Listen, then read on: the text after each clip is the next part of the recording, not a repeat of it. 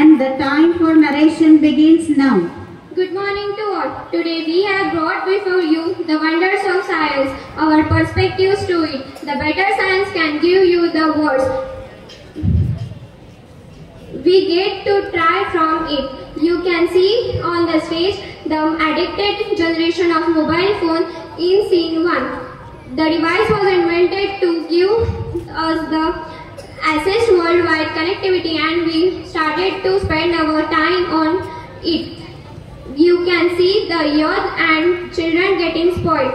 The, they are affected by headache and eye infection. In scene 2, limit is.